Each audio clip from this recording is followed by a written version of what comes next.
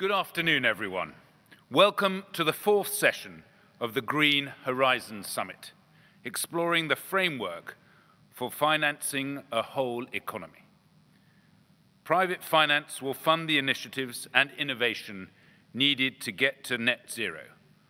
Our job for COP26 is to ensure it has the necessary information, tools, and markets to enable this investment. That's why our objective for COP26 is to build the framework so that every private financial decision takes climate change into account. To explain more on this, we have with us today Antonio Guterres, UN Secretary General, and Mark Carney, the UN's Special Envoy for Climate Change. We will then hear from the reporting panel, chaired by Francine Lacqua from Bloomberg, with a message from Minister Shaw in New Zealand.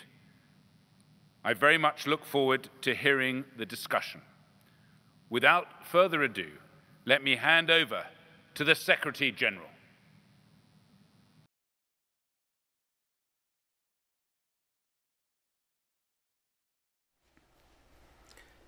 Excellencies, ladies and gentlemen, I'm pleased to join you for this important meeting.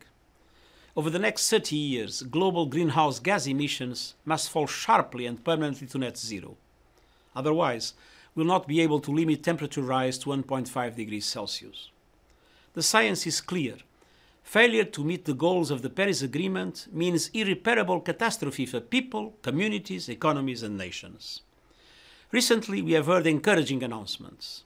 The European Union, the United Kingdom, Japan, and the Republic of Korea, together with more than 110 other countries, have pledged carbon neutrality by 2050.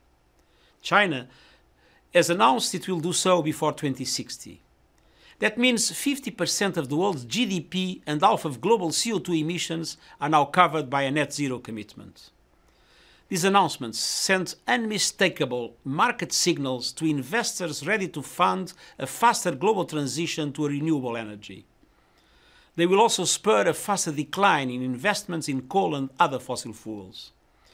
As my special envoy for climate finance, Mark Carney, has stressed, decarbonization is the greatest commercial opportunity of our time. Markets are moving, they are moving fast, and those who move first will benefit the most. But to make this transition permanent and transformative, everyone will need to play their part. So today I have a message for each of you. First, governments. You need to align the long term objective of net zero emissions with your short term COVID 19 recovery plans and your nationally determined contributions under the Paris Agreement. And to get to net zero by 2050, CO2 emissions must drop by 45% by 2030 compared with 2010 levels. Your action will provide the framework the private sector needs to invest in a net zero future, namely putting a price on carbon, ending subsidies for fossil fuels, and making climate related financial disclosure mandatory. Second, development finance institutions, multilateral development banks, and climate funds. We need you to significantly scale up your role in improving the risk return profiles of investments and to align your portfolios and pipelines with net zero goals. This will help to attract private capital for mitigation and adaptation, including in the developing world. Third, asset owners and managers. We need you to act urgently to shift the trillions of dollars you invest towards the sustainable economy.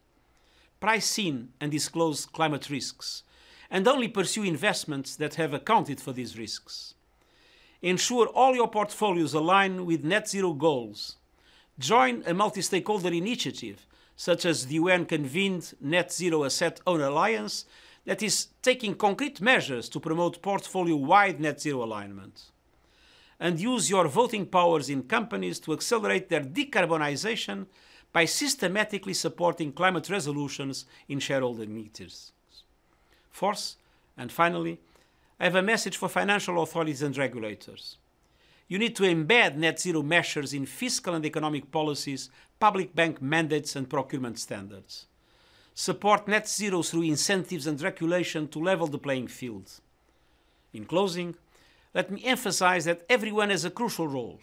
all governments, cities, financial institutions, and private businesses must establish their transition plans for net zero emissions by 2050 and start with concrete policies now. Together, we can achieve carbon neutrality for a sustainable future. Thank you.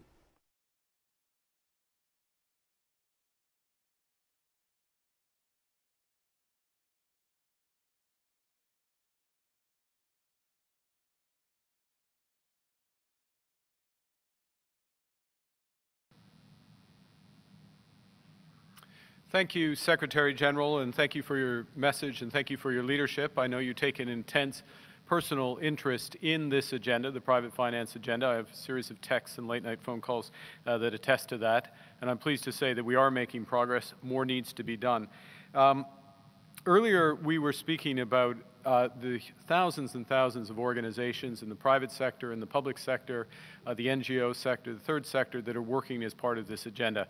And we're, we're very privileged to have uh, some representatives of that work here with us to go through each of the main pillars of what's needed for the framework to make sure that every financial decision can take climate change into account.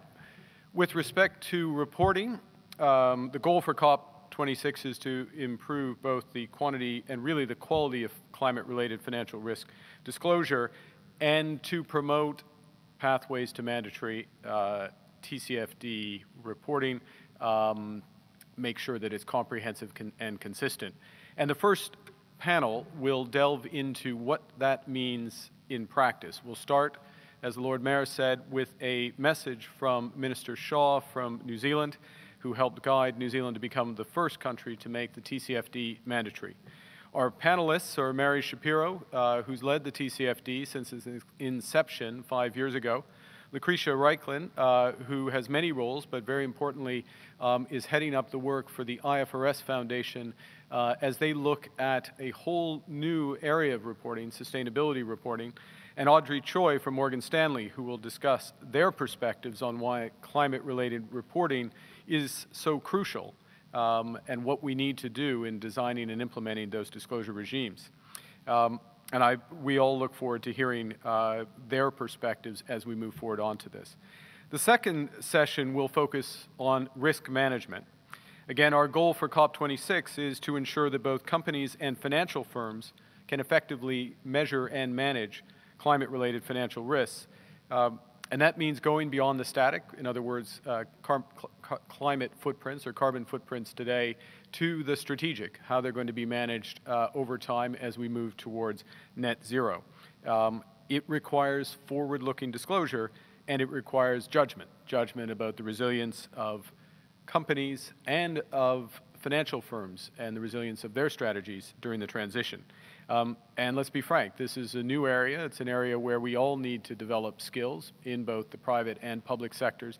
And I can think of no one better to lead that discussion or provide that perspective than Sarah Breeden, uh, the Executive Director at the Bank of England, um, who will describe the work of the NGFS, which she has helped lead, uh, in terms of publishing scenarios for transitions, but also providing supervisory perspectives and supervisory guidance to firms in the financial sector. Finally, on returns, uh, we will be joined by David Blood, who's co-founder of Generation Investment Management, um, and who has led a task force uh, as part of the broader TCFD efforts uh, entitled uh, Measuring Portfolio Alignment. It is uh, published today. It's in the Knowledge Resources section of the TCFD website. I would encourage you to uh, go through it. And it gets to the crucial question of how investors can assess their position on this transition. So both as a uh, risk management and return optimization tool for investors, but very importantly as well for clients, for all of you, um, so that you can make decisions so that you can make your money matter. Um, and I will have an opportunity to uh, discuss that uh, with David in a while. Um, enough from me. Let's hear directly from the true experts. Uh, in order to start this session uh, and to build on the uh, building blocks, um, we're going to have a panel on the TCFD, chaired by Francine Lacqua from Bloomberg. Uh, but first, we will begin with a message from New Zealand, uh, and I give you Minister James Shaw.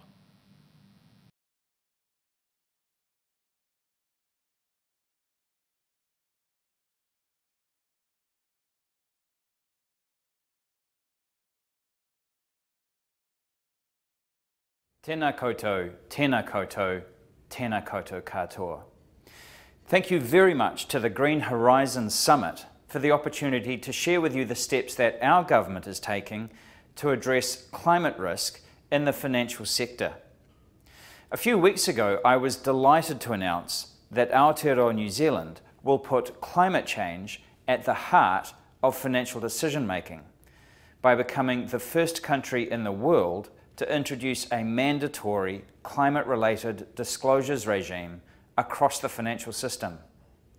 The idea is simple to make sure that large organisations understand how climate change will impact their business in the future. Crucially, when businesses have this information, they can change. They can adopt low carbon strategies that will not only be good for business, but help cut emissions.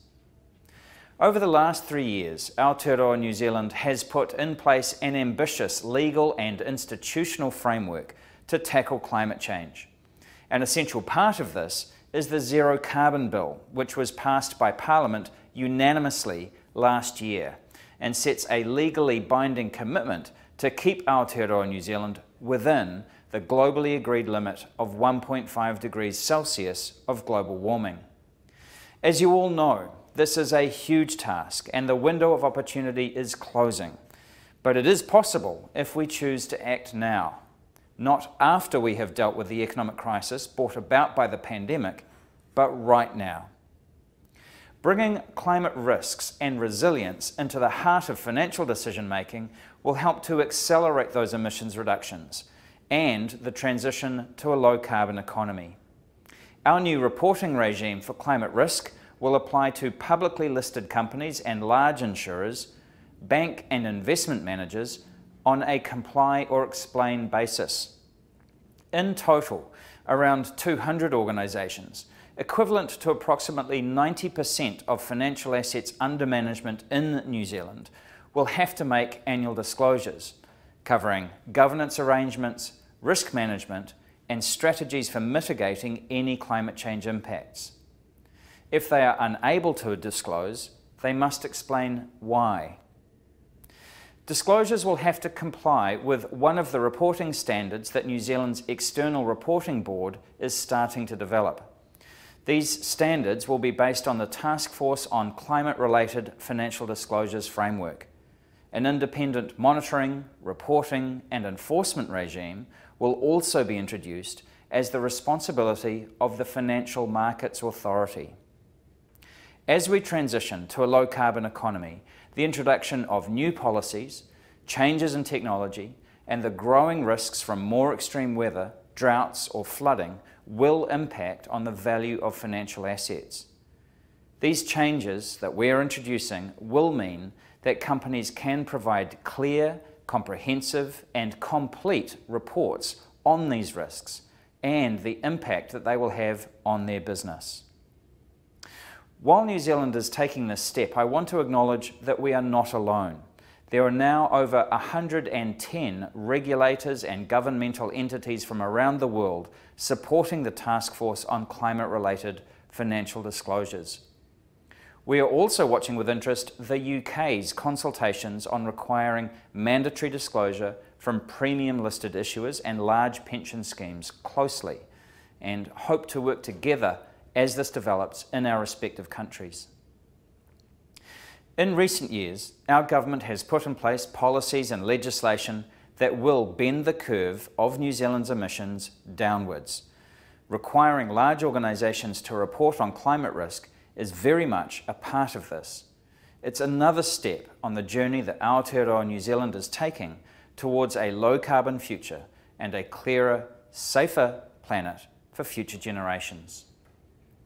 It's hard to overstate how important this is. Organisations that think ahead and align their business models to the transition to a net zero world now will be amongst the most successful in the future. However, those businesses that do not, those that delay action, will be the ones to face the greatest disruption. And the longer that action to cut emissions is delayed, the more the risk grows. This really is the choice that companies face. When I travel around Aotearoa talking to businesses about climate change, I often tell the story of the chief executive who said to me during the passage of our government's zero carbon bill that his young daughter had told him one evening that she no longer wanted to have children because of the climate crisis. What do I say to her? He asked me. Well, because of the changes that we are making, I'm pleased that I can now say to him that there will be businesses up and down the country who will soon understand exactly how they can play their part in making this world cleaner and safer. A world, I am sure, he is hoping will one day be home to his grandchildren. Nō reira, tēnā koutou, tēnā koutou, tēnā tātou katoa.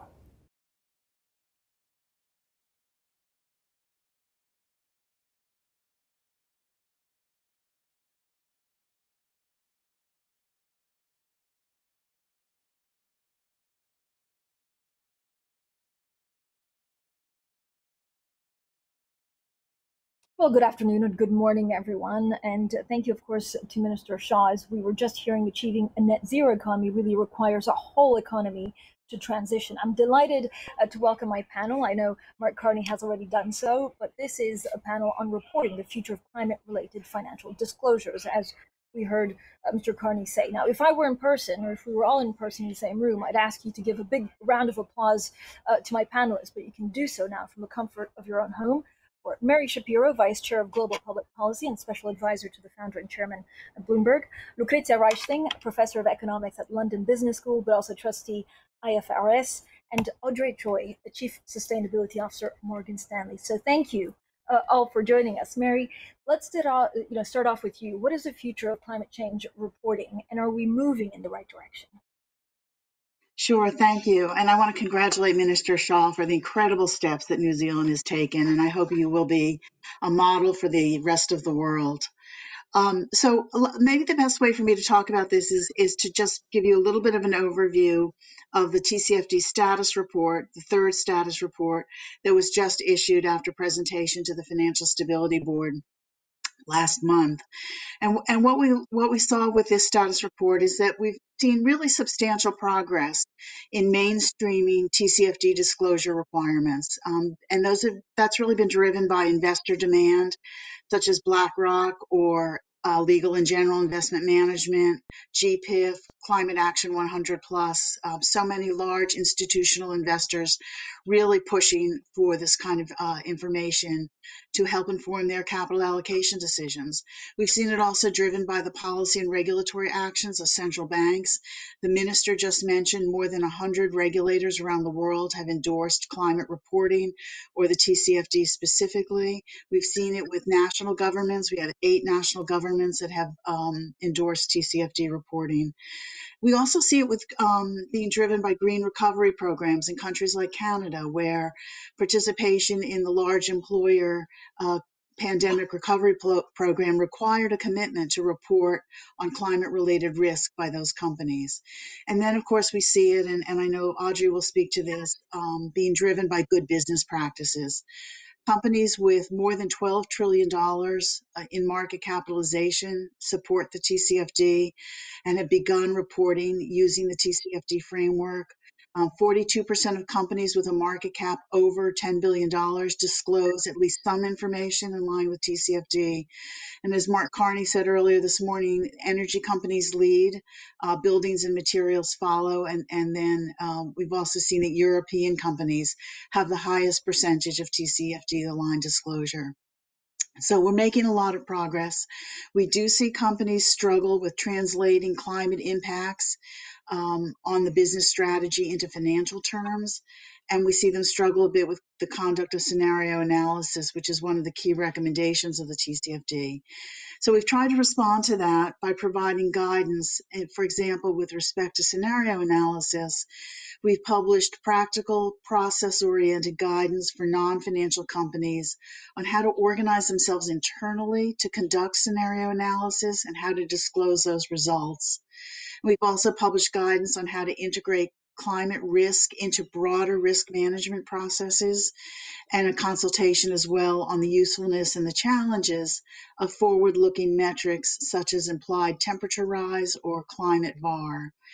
Um, the report um, also, I think, is very helpful in that it, it discusses what experts view as the most useful disclosures for them to make um, investment decisions. Um, climate impacts on business and strategy, and information by sector and geography are um, are the most useful according to um, our survey. And the report also provides lots of examples of effective disclosures and even a number of case studies.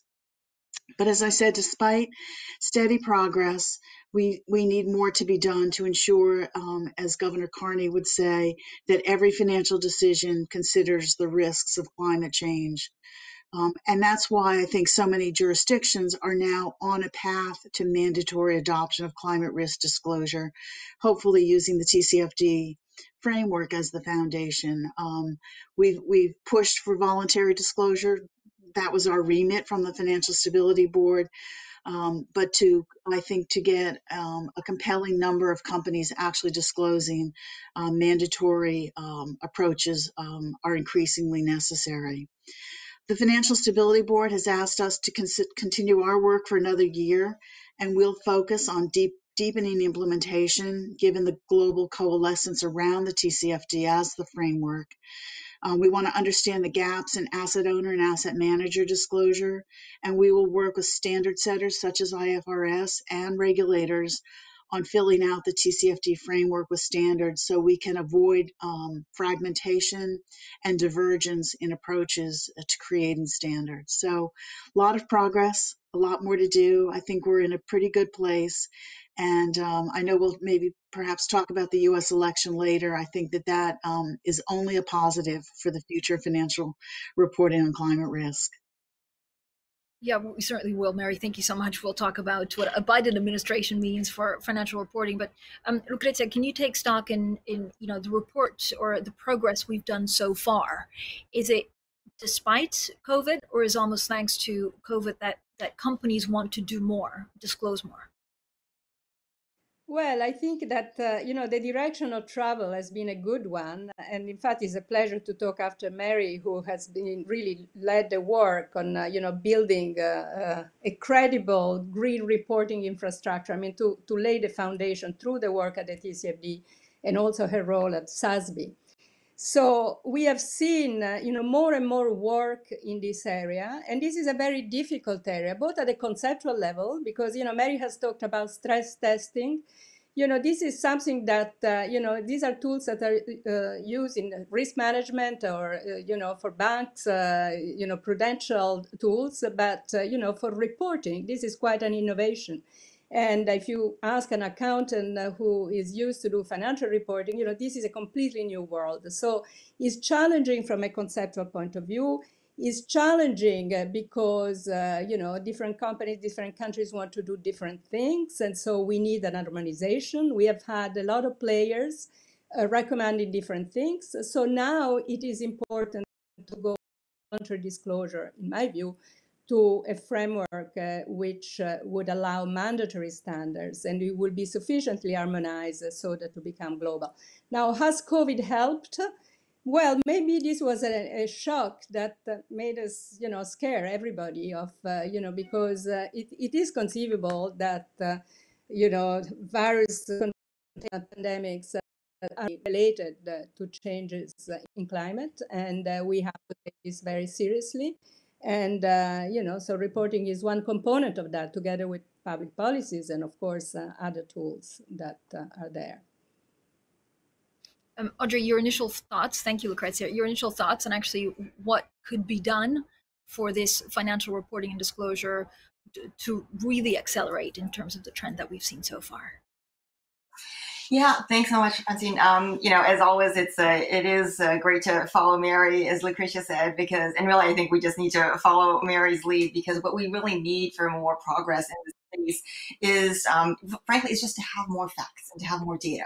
Right? We all know, you know, um, if we're so lucky that we get to the state, which I think we basically are at, that people understand the realities of climate change and how material that is to business risk, right? Then you can only, then you know that you have to manage to it and you can't manage to something if you don't have measurements and metrics. And so, um, you know, for example, the, the, the work of the, um, the PCAF, Partnership for Carbon Accounting Financials, where we were extremely um, uh, honored to be able to be the first U.S. institution to join the steering committee of PCAF and the working group there. You know, I think that work is very foundational to be able to say we have to come um, to a commonly agreed upon, widely accepted, business useful way of talking about carbon emissions. So then we can all be reporting on it. And then people can really make decision useful comparisons of how is company A doing versus company B. And if you are an investor who is concerned about climate change and, and really concerned about managing your own climate risk, how are you going to think about these two different players?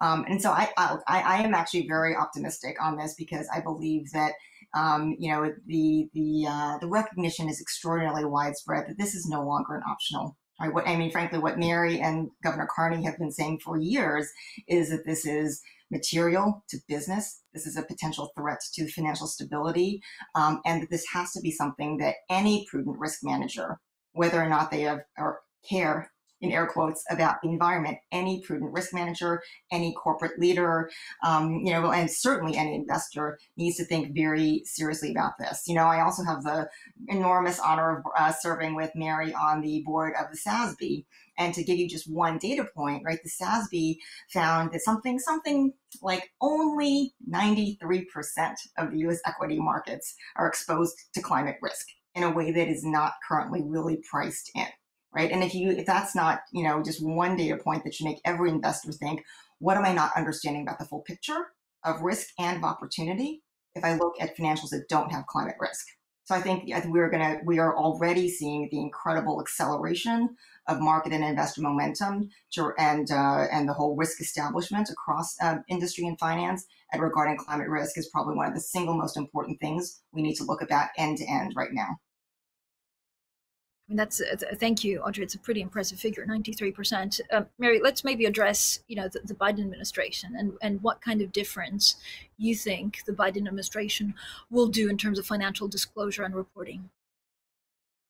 Well, I, I think the differences will be extraordinary, obviously. Um, and the uh, president elect has really set out a very aggressive, science based climate policy, um, including a commitment to net zero for the United States by 2050. And, um, and a series of executive orders to really drive progress across every sector of our economy, as well as a very robust legislative agenda whether or not a robust legislative agenda can make it through um, a divided uh, Congress is, is, of course, not clear.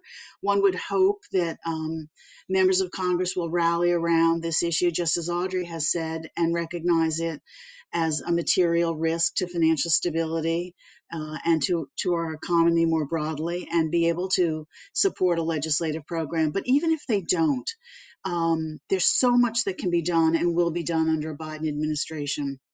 I think we'll have, you know, Mark Carney talks about a whole economy transition. I think we'll have a whole economy, a whole government uh, transition or a whole government strategy around climate change that will really call on every agency and department to account for the impacts of climate change in all of their actions. Some of this will help to reverse the damage that has been done over the last four years, but some of it will surely break very new territory for us. And, and I think it's really important for people to remember how much can be done without um, Congress having to pass laws. So, for example, the Securities and Exchange Commission, the agency I used to chair, can write rules that require consistent and rigorous disclosure of climate risk by public companies. Um, the banking agencies can consider climate risk in their micro and macro prudential supervision, um, which would um, following in the footsteps of the NGFS and the Bank of England and a number of other really leading central banks the Department of Labor can reverse rules that uh, it recently passed that prohibit or discourage, at best, climate considerations in pension fund investing or by pension funds voting proxies. And and just government procurement um, can be a huge lever here. As the government spends billions of dollars every year, it can do so in a, in a more sustainable way. So I think there's a lot that can be done. And in fact, the CFTC put out a report uh, a couple of months ago um, that outlines, really creates a roadmap for financial regulators of all the ways in which they can weigh into the climate debate and have a very positive impact.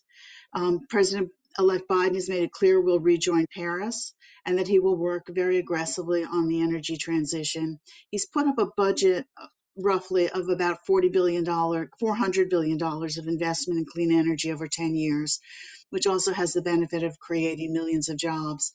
You know, that's maybe that's harder to get done, but as I said, there's so much that can be done by departments and agencies without legislation. I think we can catch up, and, and if the rest of the world will have us, we can lead again. And Mary, you're confident that all of this can be done without disclosure having to be mandatory. How important is mandatory? Oh no, I think I think the SEC um, should and will move to mandatory disclosure. To Audrey's point earlier, if climate risk if, if 93% of US market capitalization is exposed to climate risk in a material way, companies need to be disclosing that risk already. The, what the SEC can do is provide specificity and guidance and a mandate for that disclosure that will help ensure that it's comparable and therefore more valuable to investors who are trying to make choices about how to invest. Audrey, do you agree with that? Does it have to be mandatory for for it to, you know, we've done so much already. Is the next step mandatory? Well, look, I would say, you know, I think that policy is incredibly important and that policy can certainly have an incredible effect to accelerate or decelerate trends. And so I think if it is mandatory, as, as Mary has suggested, that would certainly accelerate it. Um, but I think that, you know, what, what we're really already seeing is that um, that investors are realizing that you know that they don't want to be ignorant of material risks to their portfolio. And i think that you know we are um, already seeing you know very dramatic momentum right? Just to give you kind of a few other kind of you know highlights um, you know we see you know at morgan stanley we actually started our commitment to sustainable finance actually 12 years ago in 2009 because we were convinced that the impacts on the environment and society, uh, whether that be health, like we're seeing with the COVID pandemic, or on your labor force, are all intertwined and really material to to an investment and to an understanding of of risk and return. And so we've already seen more than $12 trillion in the United States focusing on sustainable investing, $30 trillion globally. Um, and, you know, when we do polls of investors, for the last several years, we've consistently seen climate change as the top theme that, uh, that investors are interested in aligning with. I think the other thing that's important, though, is we've seen a real change in why and how investors want to focus on climate change through their investments. Right. I think, you know, if you go back to ancient history of maybe five or 10 years ago, there may have been more of a mission alignment focus on climate change. Um, but what you're seeing now is a really broadening of understanding about why this is material to both risk and return. Um, you know, and again, we we recently out of the Institute for Sustainable Investing, we recently did a study of sustainability focused strategies, so strategies that really align investments with things like climate risk. And when you compare those to, to traditional strategies, uh, what's fascinating is let's even just take, you know, 2019 and 2020 in 2019, in the sort of dramatic bull markets that you had globally, the sustainable strategies actually outperformed the traditional strategies. And then in 2020, with all of this extraordinarily volatility, you again, um, up through the end of September, we've seen the sustainability strategies um, outperform as well. They're actually in the black, whereas the traditional strategies, maybe not including the past few days, this is up through the end of September, we're actually in the red. Um, so we do think that we're actually seeing a tremendous alignment right now of coming together of, um, of increased uh, investor interest in it, but also increased proof of performance from an investor perspective. Um, you know, combined with I think what's the most important thing about the reporting and the disclosure is increased data, right? And at the end of the day, if we can have a science-based, data-driven basis for information, that is going to be one of the most powerful forces to accelerate the movement of private sector capital. And to the extent that policy can be a supportive rather than a supportive factor rather than a deterrent to that is going to be enormous. Um, Audrey, I'll ask you in a second how we avoid greenwashing those types of scenarios. But uh, Lucrezia, can, can you talk us first whether you think a common framework is enough or whether we need, need to go into you know mandatory disclosure? Well, as I said at the beginning, I really believe that we should go from, uh, you know, from uh, voluntary disclosure to to mandatory disclosure and to standards. And this is actually why the IFRS uh, stepped in uh, and opened a consultation, asking exactly to our stakeholders that question: Does the world need global mandatory standards? And uh, the reason why we we move towards uh, this consultation is because uh, you know the, the the message that we got from stakeholders and from investors is that uh, there has been great work done, but uh, actually the landscape is relatively chaotic in the sense that there are you know different uh, recommendations and standards. there are up to 1,700 different metrics now available for comp- companies to, to consider there is a danger of uh, greenwashing, as, uh, as, you, as you suggested. So we need to you know, move in the first step, and somebody has to take responsibilities. Uh, now there is the work of the TCFD. There are there, there is important work by done by the the standard setters, sustainability standard setter organizations, the big five organizations, including standards. Uh, but we need to you know go you know kind of and then actually not only that but there is also work done by important jurisdiction. Now i'm thinking for example of the european union uh, which uh, has started a very ambitious uh, program uh, on uh, on taxonomy and uh, and also is developing reporting standards which are coherent with a more ambitious uh, green agenda, which involves all kind of after different policy tools. So then the question is, okay, if we want to go towards mandatory uh, standards, uh, if we want to go towards harmonization, then uh, what is the governance for that process? And that's actually uh, a difficult question to ask too, because uh, there are different legal frameworks, there are different policies, and uh, you know, so we cannot uh, step in immediately into something that would uh, fit them, fit every countries and, and every companies. So this will have to be a process. So the question that we are asking in our uh, consultation is how can we move towards global standards in a way that will provide the core of acceptable you know, global standards, uh, but it will not uh, contrast uh, the speed that certain jurisdictions want to have, maybe the ambitions, the high level of ambition that certain ju- uh, jurisdictions want to have. So the way in which this kind of global and regional process will play together and will interact is very important to design, and uh, I think it will be a requirement for success. Okay, whatever whoever is going to end up being the consolidator and uh, you know maybe the FRS would be in collaboration with the existing organizations maybe somebody else whoever will do it uh, uh, you know it's important that these regional global questions uh, will be you know properly defined Mary, and before we go to Mary, actually, I'm getting some great questions, so just keep on sending your questions in and we'll get to them in a second. Mary. I just want to echo something Lucrezia said because I think it's so important. Um, you know, in most of most countries in the world, certainly across the G20, material risks, including climate risk, already have to be disclosed by companies um, for their investors' benefit.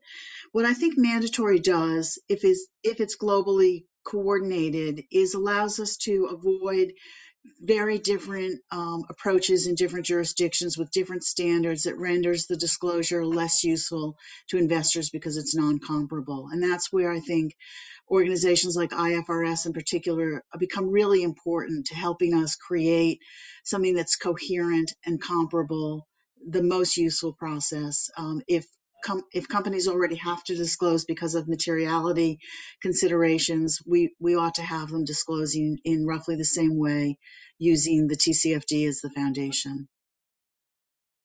Um, I have this good question coming in, and it's one to you, although Mary, I think you addressed it right now. But the question is, how will we know what good disclosure looks like, and who will make the decision of good or bad? Lucrezia, I don't know if you want to kick us off on that one.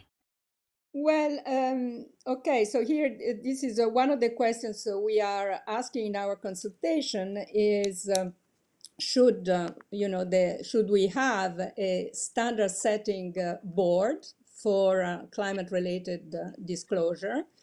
And should such board be under the umbrella of the IFRS. Okay, so there are some advantages uh, in that kind of governance uh, because our governance is a three-tier structure. So the, the regulators, the public policy authorities uh, uh, are in a monitoring board which oversees the work of uh, independent trustees, of which I am one of them.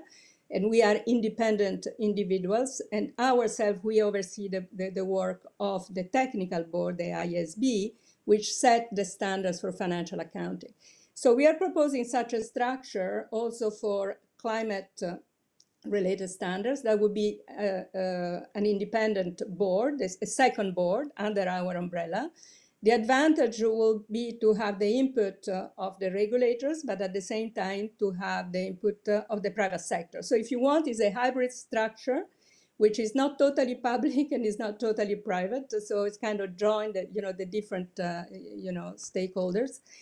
And, uh, you know, and we'll also have the advantage uh, of, uh, uh, so we'll be independent uh, and we'll be connected to the boards that set the standard for financial accounts, which of course is something that it's important because, you know, climate risk are material also for financial accounts. So this is a, uh, is a structure which has advantages and will have uh, you know the legitimacy you know to decide what is good and what is bad uh, because there will be the oversight and so on and uh, but you know to get to such construction that would be a new piece of the financial architecture of course this uh, you know requires uh, wide consultations and this is what we are doing now um, Audrey, I wanted to go back to, to greenwashing. What's the one step that you would put in place to avoid uh, greenwashing without, you know, um, going into mandatory disclosure?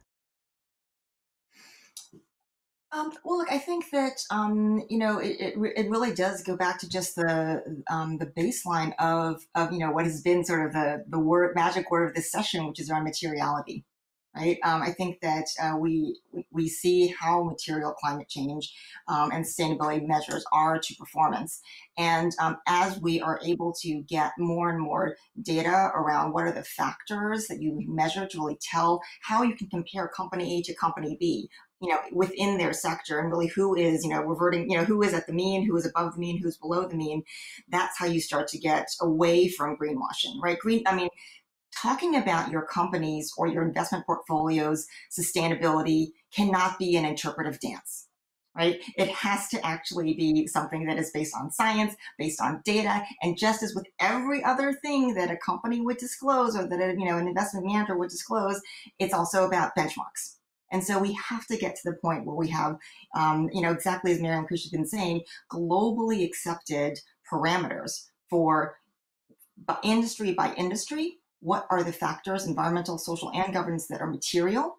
Where do companies rate on that? And then where does your company rate relative to, to, that, to that benchmark? And so until we can get that data, you know, it, it, it does become a bit more of a, you know, of a, of a hand waving exercise. And that's not what markets and what investors need or want. So I do think that, you know, it's really is you know, putting together all these building blocks of, you know, of the FSB having said, you know, having established TCFD to say climate change is actually a financial risk issue, and then layering on top the incredible work of a SASB or an IFRS, or, you know, um, and the PRA and, and uh, really the NGFS, I think is one of the you know most amazing developments to see how extraordinarily quickly the NGFS has grown, where it now has, I believe, 75 members and another 13 observers. So you really do have you know, the, the, vast majority of the regulatory structure of the world saying from an oversight perspective, you cannot ignore climate change. It's just fiscally irresponsible um, and material to investors. And so I think that the more we just have, you know, more and more um, acknowledgement of that, and frankly, the investors I think are already there,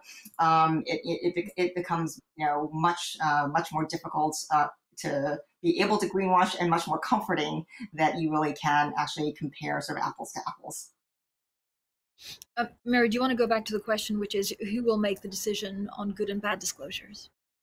Sure, I do, and I, I but I want to agree with Audrey. I think um, the the solution to greenwashing is is really transparency, and it's about good data, full disclosure, and some consistency of definitions or taxonomy um, when we're defining what what is green and what isn't. But I think investors will tell us what is good disclosure and what is good enough disclosure. Um, and and they haven't been shy in telling us, at least at the TCFD, what it is they need in order to um, have the best informed uh, capital allocation decisions. And I think when the disclosure becomes a component, as Mark Carney would say, of every financial decision made by an investment professional, then we'll know we've gotten it right and, and we've put the right elements of disclosure on the table.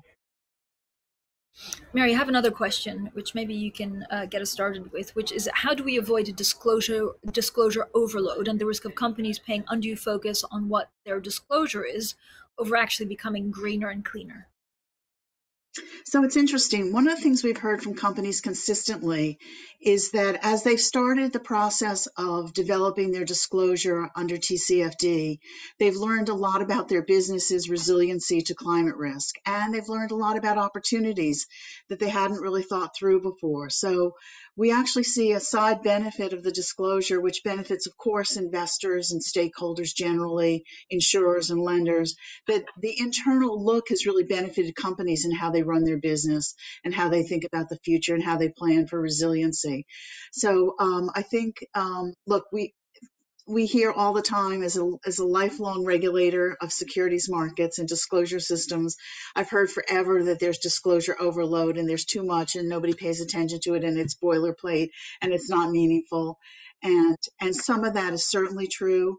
Uh, but this is an area where, particularly using the TCFD framework, you can have a discussion with your investors and with your audience about your governance, about risk management, about the business strategies, resilience to climate change without it being overloaded. It just is not a given that because there's new information to disclose that somehow it will be overdone or we'll get immaterial information clogging up disclosure documents. So I think um, the beauty of this TCFD framework really is it's principle based and it leaves it to the company to decide how to make the disclosure disclosure, um, hopefully with gov- uh, with guidance and maybe even mandates from their national governments. But it, I, I, guess I don't really buy the disclosure overload concern. I think these are real material risks. Companies have to disclose them. Um, thank you, Mary. Lucrezia, this one is for this. This question is for you. How is IFRS aligning with the work being done by the EU? Well, um, we are we are very uh, much uh, you know in touch with the EU, and we are following with uh, great interest their work, and we are actually uh, also giving uh, an input to the working uh, group of the EFRAG, um, which you know have asked us. they have asked us to comment on on the connectivity with financial reporting, with non non financial financial reporting. Um, the EU in our view, will have to be, you know, an input uh, uh, to this kind of global effort. Uh, and, you know, when I think of the sustain sustainability board that I described earlier, of course, I think as the EU as one component of the monitoring board in, in such framework.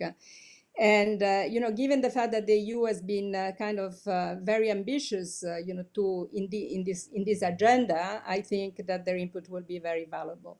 But as I said earlier, um, you know, the EU may want to be even more ambitious than, uh, you know, what we can aspire as global standard setters. And this is why it's very important uh, to have a framework which uh, would be nested, so to have a core of global standards, which would be nested uh, in, uh, uh, you know, in, in other standards, possibly more ambitious and also broader in terms of scope. People talk not only the EU talks, for example, not only in terms of climate, but also other aspects of sustainability.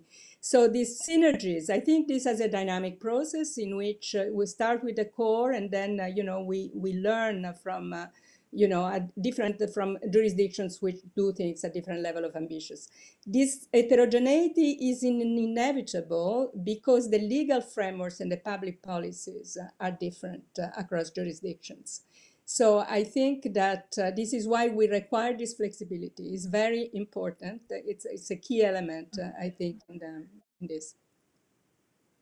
Um, Audrey, how do you think? I mean, do, do you think there's a, a, danger that we overburden certain companies? And I'm thinking maybe specifically of, small and medium-sized companies. That some size say, you know, this is an expensive kind of process. Um, you know, I think, I think one of the things, uh, so look, I mean, to Mary's point, right? Uh, regulations and disclosures always are uh, require a bit of work and that is sort of part of you know the the um, that's a little bit of the cost of doing business. I think you know one of the things that I would focus on is um, that I, I, think really as, as Mary said, what what corporate leaders, including small businesses, find is that when they look more closely at sustainability issues, they actually see that this is not just about um, sort of uh, a, you know I, I, feel like we've been talking about this very much like um, eating your least favorite vegetable you know, I happen to actually love spinach, but uh, you know, it's often talked about as oh, sustainability and disclosures and all these acronyms, and certainly that's going to mean less business, right? And I think that the the part that we overlook too often is the fact about the opportunity. And what you've seen when, when we've worked with, you know, corporations, both large and small, you know, whether it's entrepreneurial or, you know, or really some of the largest corporations in the world, even if they initially uh, approach sustainability as a cost of doing business or an, a burden or, you know, some, some kind of um, duty, when they actually engage, you know, in a, in a real way with the topic, they find that it can actually lead them ultimately to cost savings, right? So if you're thinking about more about recycling and more about efficient use of energy and efficient use of water, you can actually, you know, reduce your cogs, right? If you actually start thinking more, you know, holistically about your your social compact with your workers and your community, you can actually start seeing lower potential liabilities or regulations or other things. But I think most importantly, you start seeing innovation, right? And we've actually seen tremendous opportunities for outsized growth when you have uh, innovation that is based on, you know, something really not radical at all, which is what are the biggest mega trends informing the future cost and availability of natural resources, right? So most businesses are built today on assuming the low, I mean, the free or near free costs of clean water, clean air, disposing of, you know, dirty water or dirty air. And once you realize that that may not always be the case, and you look to not just avoid or minimize the impact of the regulation on your business, but you actually say, what is the opportunity there? You actually start having tremendous amounts of new product creations. And so I really think that you know, frankly, for all of us as, uh, you know, in the sustainability community, we need to kind of be uh, constantly reminding people about both sides of those things. And again, I think what has been very encouraging and why we're seeing so much momentum from capital markets and from corporate leaders is we actually have seen reduced volatility for those companies who do a good job on managing themselves from a sustainability perspective, as well as increased um, upside. And I really have, you know, I don't think I've ever met a trader or an investor who doesn't want alpha generation and beta reduction at the same time. Um, I have a great question actually for, I think let's maybe start with either Mary or Lucrezia, saying, given the need for a whole economy transition, how do we ensure financial firms are disclosing their approach to stewardship and impact on system-wide transition, as well as financial risks? Lucrezia, do you want to kick it off? Well, I mean, uh, that's a matter of what uh, kind of standards uh, you're going to design, right? So I think that uh, you know maybe Mary, with the experience of the TCFD, uh, you you have to you had addressed these these issues. But uh, if I understand well the the question, I mean, is I mean the the question is also the. Um, I think it's a more holistic to the transition risk. Yeah, I think it's more a holistic approach to basically yeah. how do you, you know, do a wide, you know, a more system-wide transition without only focusing on climate change. Oh, okay. Sorry, I mis misunderstood the question. So, uh, beyond climate, we know that there are other aspects of sustainability, um, and uh, for example, uh, labor relationships, uh, governance, and so on. So, the three aspects of the ESG. Uh, we think actually that these aspects are related. I mean, if you ask me personally, I think that these aspects are related.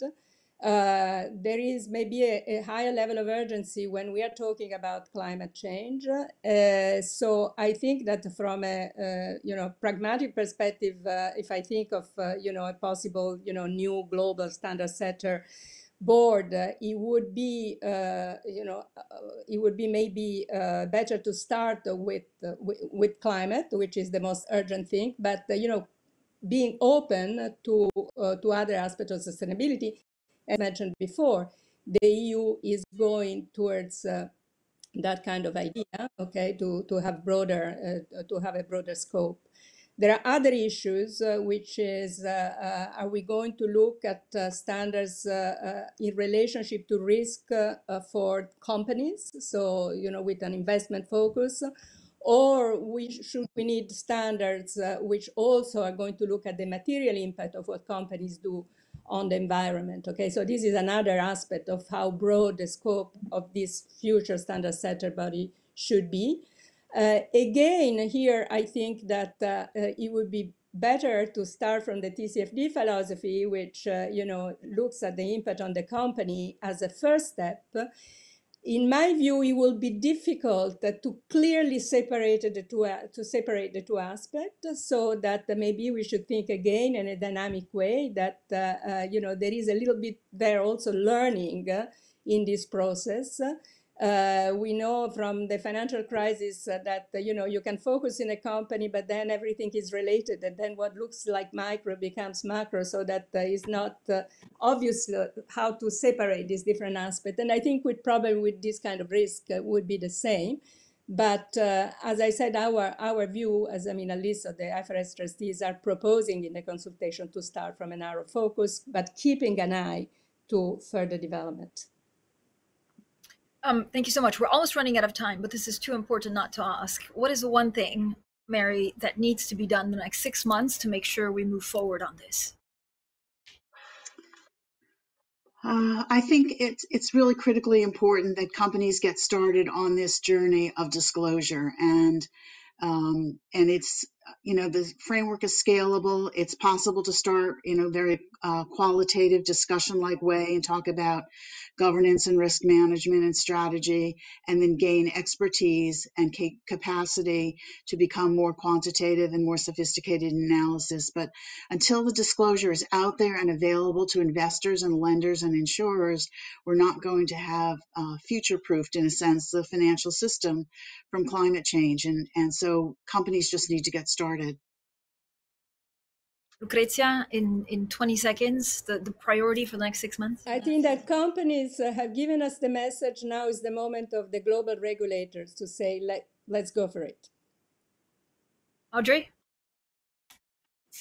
Um, you know, I, I, I would just echo uh, uh, that all companies need to just focus on the fact that uh, this is this is a here and now issue. I mean, if there was ever a year to make everyone realize that sustainability is a clear and present danger, that we cannot wait. This is not an issue for your kids. This is not an issue for your for your grandkids. This is a right now issue that is going to materially affect your employees, your clients, and your stock price. So focus on this now in a material way that involves the CEO, the CFO, the CRO, and really the whole C-suite. Well, thank you so much for a very interesting panel. Mary Schapiro, Lucrezia Reichlin, and Audrey Choi, and have a great day, everyone. Thank you.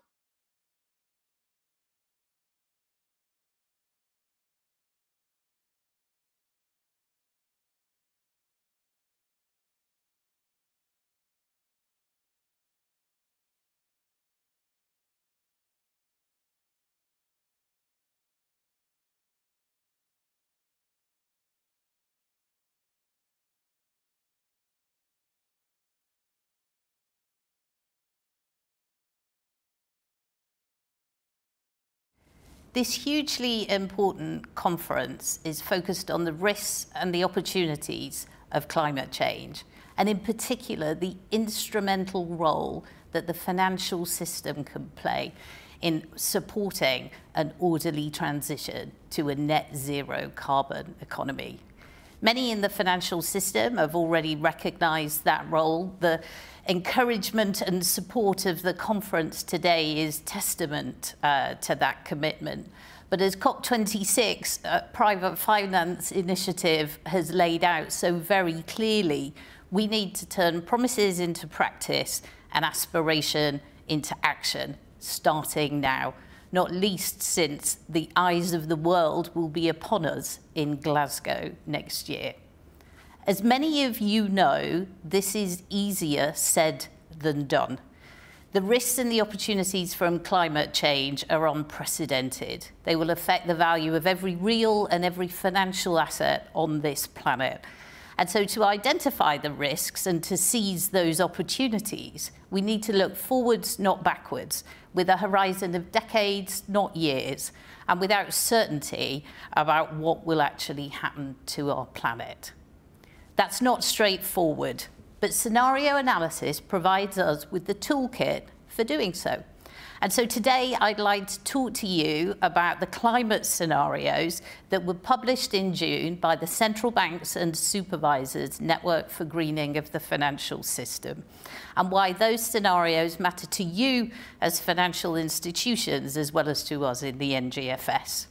I hope that you will agree that they're a critical input into the COP Private Finance Initiative's ambition both to transform climate risk management and to improve the quantity and the quality of climate-related disclosures. But let me first provide a bit of brief background on the NGFS and why it's chosen to develop these scenarios. The NGFS was set up in December 2017 with eight founder members, including the Bank of England, as a coalition of the willing designed to share best practice on the field of climate risk management and green finance. In less than three years, we've grown to over 70 central banks and supervisors, underlining the increasing importance of climate change to my community. And together, we represent a lot of intellectual firepower. Within the NGFS, I chair the macro financial workstream, where our aim is to size the economic and financial risks from climate change. This slide shows how the physical and transition risks from climate change lead to economic and financial risks. It highlights that the channels from climate to financial risk are numerous, with significant interdependencies. And as many of you will know from experience, the data and the methodologies to translate climate outcomes into macroeconomic and financial risks are incomplete and inadequate. Even the future path of the climate risks themselves is subject to huge uncertainty. As central banks and supervisors, we are clear that these uncertainties and complexities cannot lead to inertia and inaction, and that's why we have developed the NGFS reference scenarios to allow us all to explore economic and financial risks under a range of potential climate pathways. There are, of course, a myriad of possible climate pathways, and so a myriad of climate scenarios out there. Which one should you choose? This slide sets out the NGFS scenario framework. The scenarios are organised on the horizontal axis by climate outcome, on the left, we assume the Paris goals are met and physical risks are contained. On the right, they're not met and physical risks are substantial. And the scenarios are also grouped on the vertical axis by the type of transition. In the bottom row, we begin to bend the carbon curve now, and our transition is early and orderly. However, in the top row, our actions are delayed so the transition is disorderly and transition risks are high. And what this highlights is that a simple two by two matrix does a pretty good job of exploring these different risks. The NGFS published in June its own reference scenarios in line with this framework. In addition to the macroeconomic and financial variables you usually associate with central banks, the scenarios include temperature pathways, the frequency and severity of weather events, emissions pathways, energy mix, and implied carbon prices. By using a range of different models, and for the first time ever, our scenarios contain both transition risks and physical risks in a coherent way. They are therefore decision useful reflecting the totality of the risks we might face. And unlike in all other scenarios, we have not assumed away huge swathes of risk in the design of the scenarios. Importantly, we've worked closely with a consortium that represents the best climate scientists in the field. And of course, we're bringing to the table our central bank macroeconomic and financial modelling expertise so that the scenarios further develop our shared understanding of these unprecedented changes. I should, though, note that modelling the economic and financial impacts is subject to significant uncertainty and extensive debate. So we need expertise and challenge from you too. I'll return to that later. Consistent with our 2x2 framework, the NGFS has produced three representative scenarios that are summarised in these two charts. Our three scenarios cover orderly, disorderly, and hothouse pathways.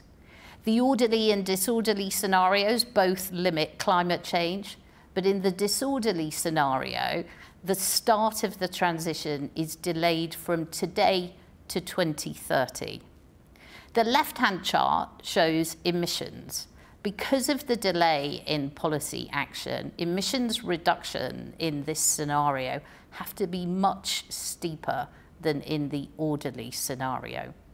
In the hothouse scenario, emissions continue to steadily increase and mean temperatures increase by more than three degrees. The economic impacts and the financial risks that this brings are significant. On the right-hand side, we see what these emissions trajectories imply in terms of shadow emissions prices and so transition risks. What jumps out is that in a disorderly scenario, the emissions price increases sharply, reaching $700 per tonne of CO2 by 2050. As the blue line highlights, if we want to reduce these risks, we need to start now, not in another decade. At the Bank of England, like many other central banks and supervisors, we will use the NGFS scenarios for our own analysis. Specifically, the scenarios will serve as the basis for our upcoming climate stress test, the 2021 Biennial Exploratory Scenario, or BES. This exercise, due to launch uh, in the middle of next year, will cover three scenarios consistent with the NGFS scenarios and will explore both physical and transition risks. In addition to being our first stress test to include climate outcomes in not one but three scenarios and looking ahead decades rather than three to five years, the climate BES will also break ground in other ways. Both banks and insurers will participate in the stress test so that we can capture the interactions between them. The firms will be expected to conduct counterparty level analysis for their largest counterparties to capture the fact that this risk needs to be understood bottom up, asset by asset, across the entire balance sheet, consistent with the economy wide risks that climate change brings and we will look to identify common responses and feedback effects that have got the potential to increase the risks that we face. Through this exercise, we hope to deliver three things. First, to shine a light on risks that are currently opaque. Secondly, to highlight where the opportunities are to reduce those risks. And thirdly, to build capabilities and prompt customer engagement all of which will support COP private finance initiative aims. Let me finally turn to how these scenarios can be useful to you as well as to us and to outline our next steps. The scenarios are available for use now in a publicly available database. They can be used, therefore, in any financial firm's risk analysis and they can be used by any of your real economy customers too. Indeed, these scenarios might be especially useful in supporting TCFD disclosure. We all know that for disclosures to be decision useful, they need to be forward looking, not static, and based on scenarios that are consistent and comparable. And the NGFS scenarios can be those reference scenarios. Let me end by noting that we have so far taken only the first step in our journey. I said at the start that our task was a complex one, Creating climate scenarios for the financial sector is a difficult task, and our scenarios will not be perfect. But since the time for action is now, we need progress today, not perfection later. Right now, we are doing further work to enrich these scenarios, adding more macroeconomic variables, providing greater geographical and sectoral detail, and adding more physical effects from climate change. We'll publish these new expanded scenarios early next year. To that end, we welcome comments from all of you on them and we will report ahead of COP on how central banks have used the scenarios and the climate risk management lessons we have learned. In the meantime, can I encourage you all to use the scenarios too? By shining a light on the future risks and opportunities we face, these scenarios can help drive the action we need now. And if we all do that, we can make Glasgow proud.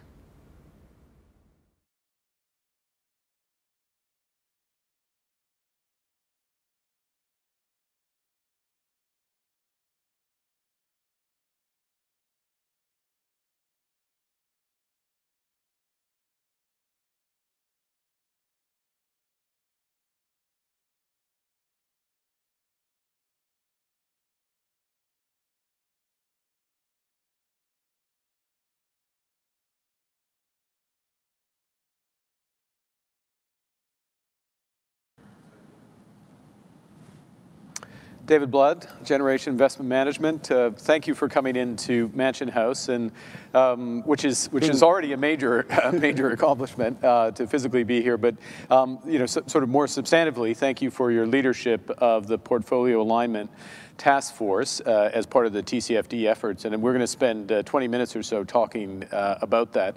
And I guess um, really the first question is you know, just general, why is this important? What does it seek to accomplish? If you can just unpackage uh, this for Terrific. us. Well, the first thing I need to do is uh, thank the team. Uh, Irin, Levina, and the entire uh, team have done a tremendous amount of work. We hope that the document that we produced will be a tool to help financial institutions better assess their transition to net zero. Right. And the, the whole notion of what we want to talk about today is, is really the tools to, to help people think about that. Uh, I think there are, are four points that, that we need to, to establish. Uh, the first, very importantly, is uh, net zero will be the law of the land. And it's critical that asset managers, um, asset owners, banks, insurance companies recognize that and are aligning their portfolios to, to reflect that. So you could think of this as a risk management question, is how do you, or a compliance question, how do we ensure that we are um, aligned to net zero. But actually, I think the, the, the second reason is, is even more interesting, which is the transition to net zero will be the most significant transformation in economic history. And so from my perspective, what is really interesting about this is the capital allocation, the opportunities to allocate capital to this transition over the course of the next 5, 10, uh, 15 years. And so a CEO or a CIO absolutely needs to understand the compliance and the risk side of it, but really what's interesting is the capital allocation side of this. And I think with the United States uh, rejoining Paris, this will move very, very quickly. So the opportunities associated with the, net, the transition to net zero are, are real. But there are two other uh, reasons. The first is the, uh, the engagement opportunities. As investment managers, this, these types of tools will help us prioritize which organizations we're engaging with to transition them to, to net zero. Uh, and will give us uh, tools to, to, sort of figure out where we, we are in, in that prioritization. But last but not least, and I know this is something that's very important uh, from your perspective as well, is ultimately this is a stakeholder management tool we are going to have to talk to our stakeholders, our customers, our clients, our, our broader community as to how we're aligned to the transition uh, to net zero. Right. Okay, so there's a lot in that, and the tools can be used for many purposes. Maybe we'll start uh, from the institutional side, from the investor side, from the portfolio manage, manager side, and just if we can go a bit more detail on um, some of the tools. You, you describe it as a tool both for risk management, but actually you know, on, on, the more exciting side, if you will, capital allocation, taking advantage of this opportunity. So give us a bit of a sense of the different ways, the different tools in the toolbox that can be used for portfolio alignment and how you would use them or do use them uh, when you think about capital allocation. Well, there, uh, you're right. There, there is a, uh, there are an array of, of tools out there right now. And some actually are, are important, but they're static. And they, I would argue there are more risk-oriented tools like what is the carbon intensity of your portfolio, of your loan book. And that's, that's important information. But as you begin to think about uh, the, the offensive side of this question or the engagement side of this question, it becomes important to, to understand what forward-looking matrices might be. And so what we've done in our report is developed uh, a, a continuum of sophistication. And, and that's a little bit grandiose in terms of a title, probably. But it gives you a sense that it basically goes on the notion that sometimes uh, the more uh, important differentiated insights that you can get as a fund manager or as a CEO or a risk manager are a bit more complicated and, and require a bit more information. And that's ultimately what we're, we're trying to show here. So in the, in the forward-looking matrices, and what we're looking for are matrices that are forward-looking, that are robust, that are based on science, and that we can action. Right. Ultimately. Right. And uh, so one question that one could ask, or one portfolio metric is, well, what is, uh, what percentage of your portfolio is already aligned with Paris? and you can get, just get a number, and, and that's helpful information for sure. But that only kind of tells you sort of where you are as opposed to where you're going. And so a, a next step on this road of sophistication or continuum is, well, what if, if we look at uh, companies and then portfolios relative to a carbon benchmark? Right. And then, well, where are we on that? And that's definitely much more information. But can I, can I just ask you a question on, on both of those items? So, and I'm going to play back something to you, and you correct me. Um, when you think about um, what proportion is Paris aligned, um, it's is it companies that have transition plans or some element that you know they have an intention or they already are on the curve towards being Paris aligned? Is it that as opposed to say an ESG rating or, or something in, uh, in, in that ilk?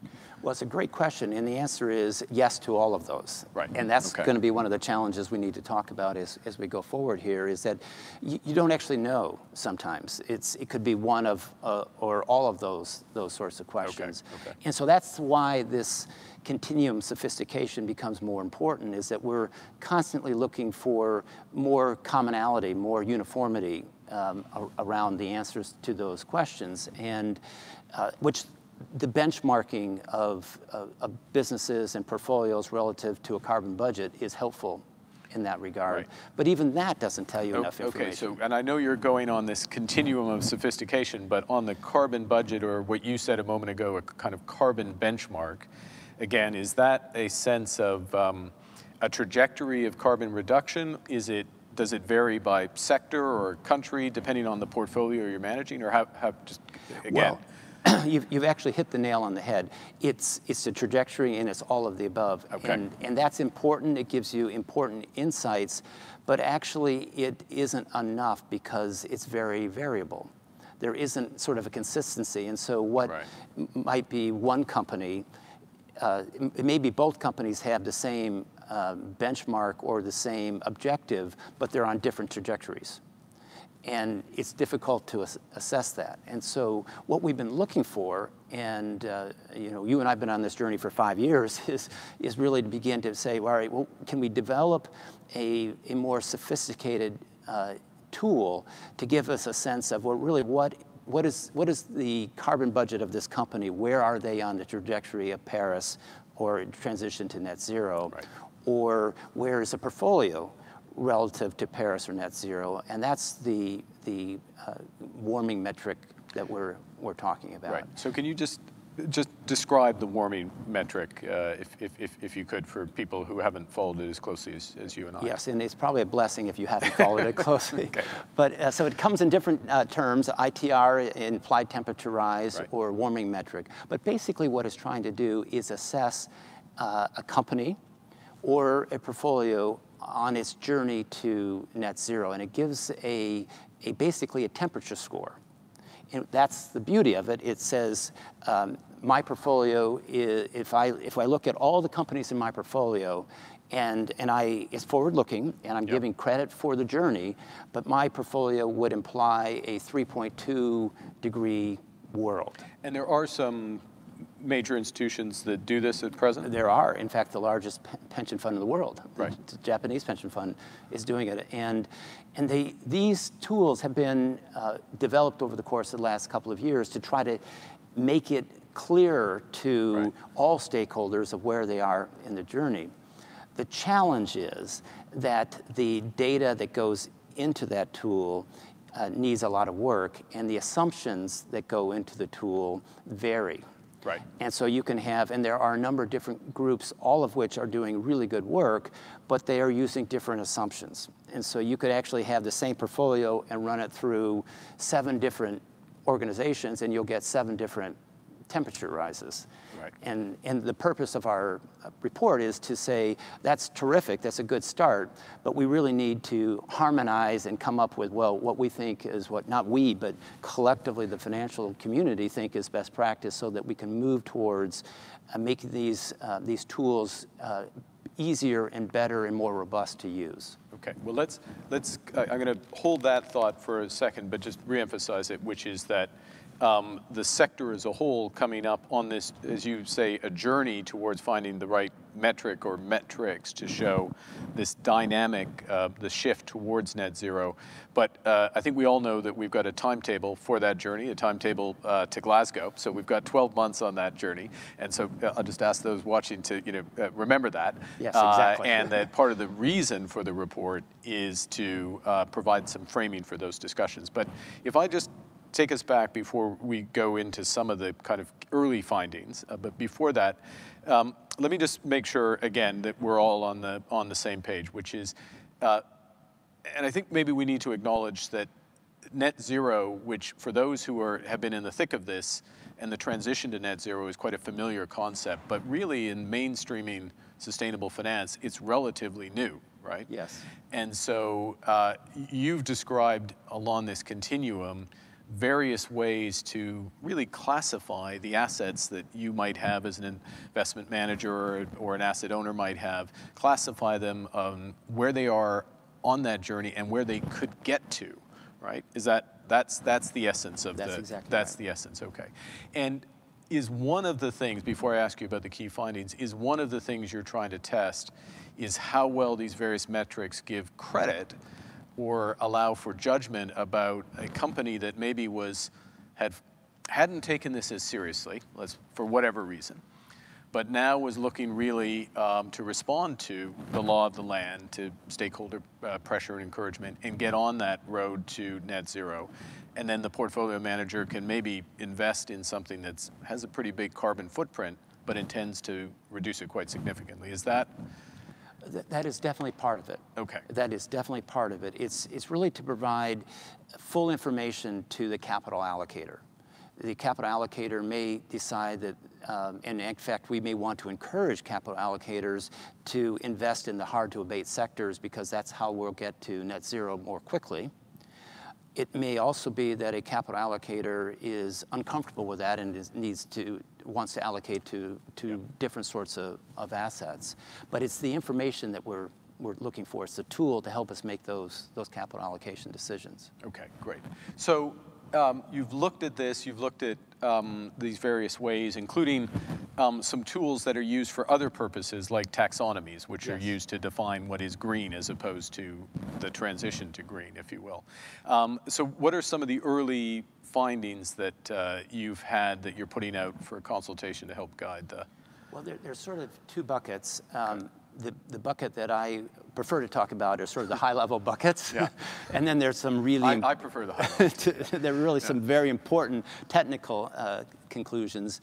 uh, which we clearly want to talk about yeah. uh, and certainly encourage folks to, uh, to read. But there are probably uh, five or six points that, that we're trying to make. The first is uh, th this is a journey. There are a number of, of matrices that we can be using and should be using. Some are better than others, but no one is perfect yet. And so uh, one approach might be to recognize that you probably need a couple of them when you're thinking about right. managing your risk or allocating uh, capital. The second is as much as uh, there, it, it's attractive to look for simple, the, the, truth is we need more sophistication because the journey to net zero is a sophisticated challenge for the reasons we were talking about the trajectory uh, that, that, that is going on. The, uh, a third observation is the, the warming metric, while it has significant challenges, and it does have significant challenges. It has data challenges, it has methodology challenges, and we talk about that in the, in the report. It does have two really big advantages. One is it, it allows you to, to compare companies and portfolios in a way that you can recognize yep. in, a, in a more consistent way. And secondly, it's something that we can use to communicate more effectively. This, this whole challenge of, of transition to net zero, the whole conversation around climate, can get very complicated for those of us who've been living in it. But we need, a, we need to bring a lot of people with us in this journey. And uh, implied temperature rise is something that people can, can get their arms around. And so it's, it's worth investing in some time and developing some tools to see if then if we can address the challenges because it is does have some terrific uh, strengths to it. Yeah, and I mean, and you said something earlier where you used the example of, uh, I guess GPIF, the Japan Pension Fund, 1.6 trillion or dollars and counting, um, uh, and, uh, and, they're uh, and uh, they're north of three degrees. They they more or less not perfectly represent the market, but they're more or less yes. own the market. A little overweight Japan, but uh, more or less uh, the market. And you know that tells you something. Now, on the other hand, um, managing that portfolio towards one and a half degrees, which is their intention, which is CalPERS intention. Is that yes, right as well? Exactly. Um, AXA, Allianz, uh, Caisse de Depot, you know, th that's their intention. And, and so the judgment that either you as a portfolio manager or an institutional investor is making potentially with one of these metrics is to take a pool of assets and move them onto the road to Glasgow, if I use my analogy, or, or uh, aligned with Paris and then they can be judged and they have a tool again to track. That's yes. that's what we're looking for. That, that's exactly right. And yeah. it's and it's both again it, it covers all of those four points. It's it's a risk management tool that tells you uh, from a risk management perspective what your transition risk.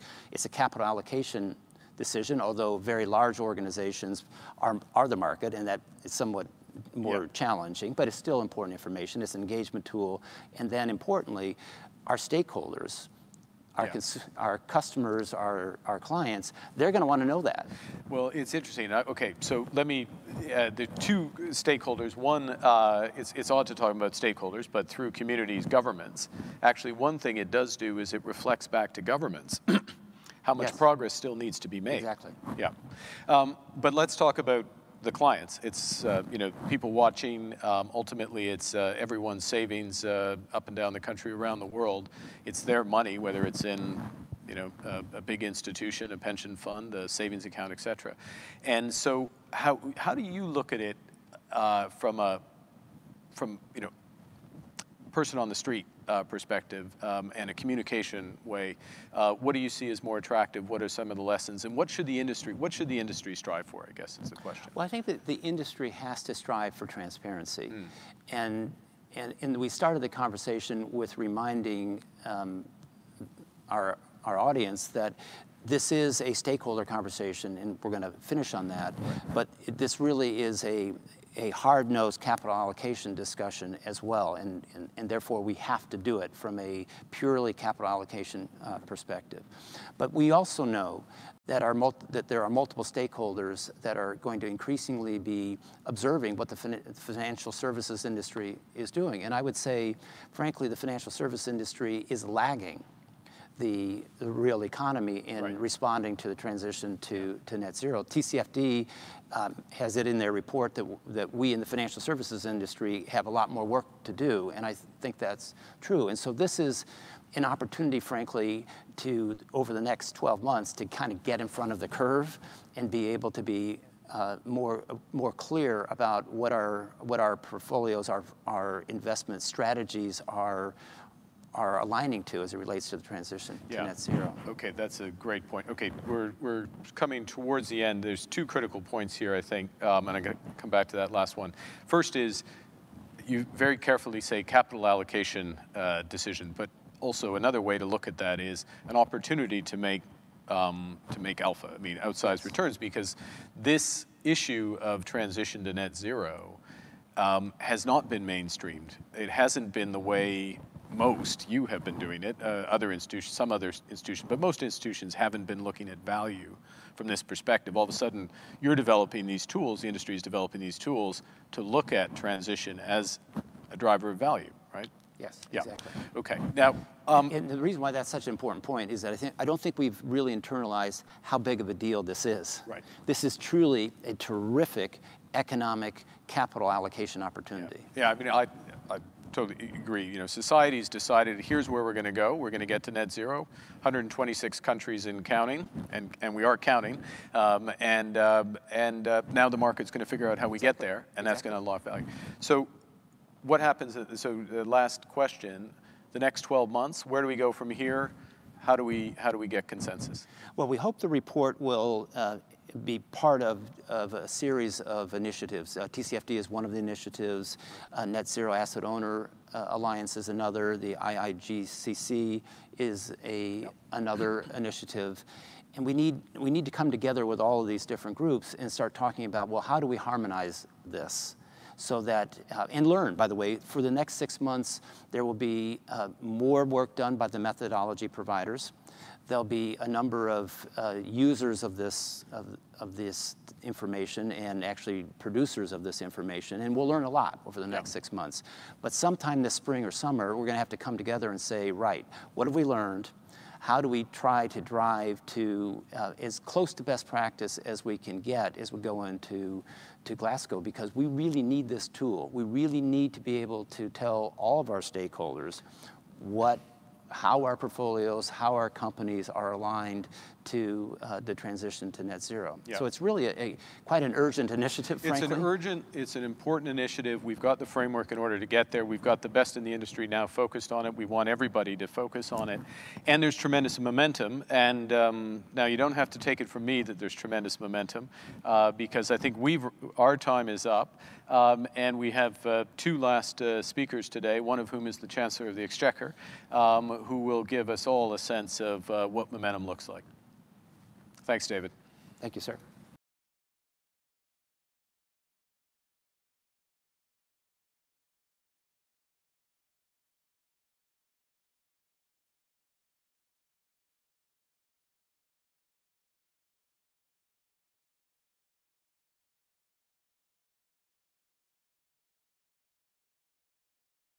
Good afternoon. Thank you for inviting me to speak at today's Green Horizons Summit. And I'm sorry we can't be together in person. And thank you to the City of London for hosting such an important event. Earlier this afternoon, I gave a statement to Parliament outlining our vision for the future of financial services in the UK. I believe this moment marks the start of a new chapter, a new role for the sector in supporting the economic recovery from coronavirus, a new relationship with the EU, and a new ambition to make the United Kingdom more open, more technologically advanced, and our focus today, a world leader in green finance. The challenge of climate change is clear, and it is urgent. We need to ensure a positive and fair transition to net zero and protect our environment. And we have an opportunity ahead with the UK's co-presidency with Italy of COP26 and our G7 presidency next year. We will provide leadership working closely with governments around the world.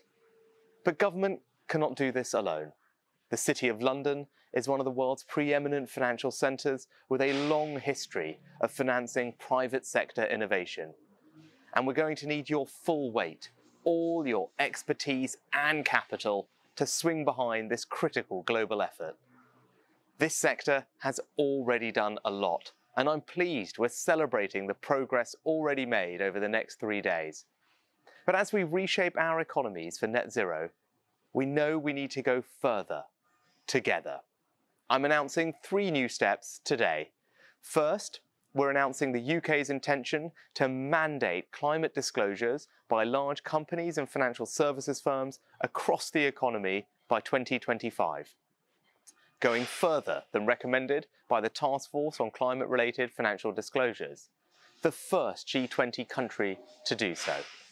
Second, we're implementing a new green taxonomy, robustly classifying what we mean by green to help firms and investors better understand the impact of their investments on the environment.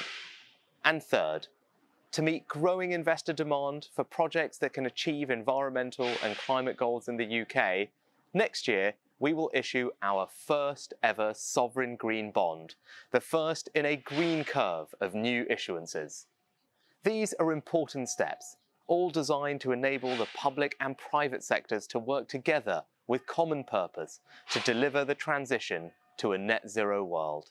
So thank you for everything you're doing on the road to COP26. Good luck with your discussions over the summit and I look forward to hearing your thoughts and views about how we can go further together. Thank you.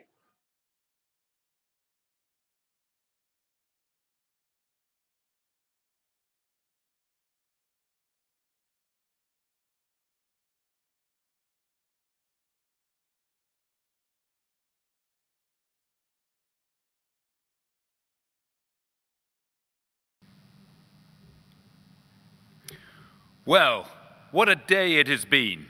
Over the past eight hours, we have heard from financial leaders on the crucial role finan that finance will play in transitioning the global economy to a climate resilient future.